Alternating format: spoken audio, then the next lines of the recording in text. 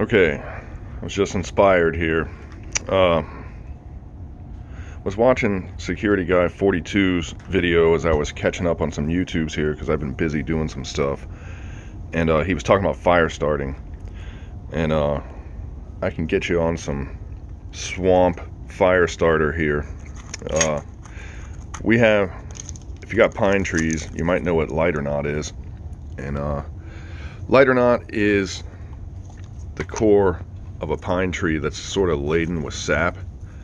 And uh, got some wax in there too. Wax and lighter knot go together pretty well. Uh, I have a real high-tech container that I use for these chunks. So when you're harvesting the big pieces of lighter knot you'll get smaller pieces. Well you find your high-tech container. This is the Pickle Rick Pringles can let's say, eh, let's play with it. And uh, we'll take a piece out of this, which, what this is right here, is some sawdust from when you cut these things up.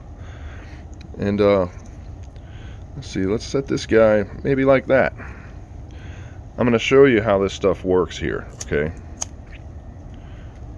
You put your lighter to it. And it likes to burn as you can see. This is uh let me get rid of this thing because I don't want anything to drop down and catch my whole stash on fire here. But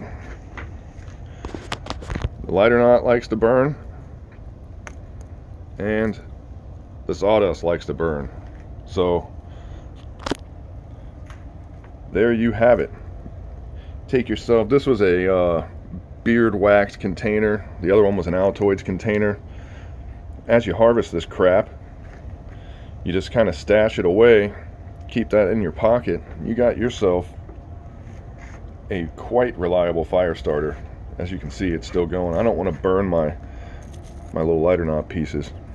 I mean, I like you guys, but I don't like you that much. You know what I mean?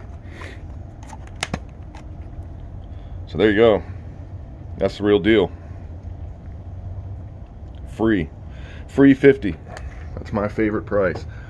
Like with most of my stuff, I'm pretty low tech and low budget. But uh yeah, if you start zapping some dead pines, you find that waxy, sappy core there. That stuff is gold.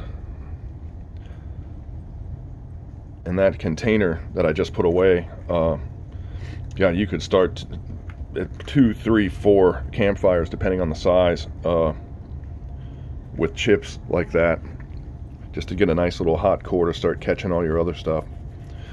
Anyway, there you go. Live and learn, right?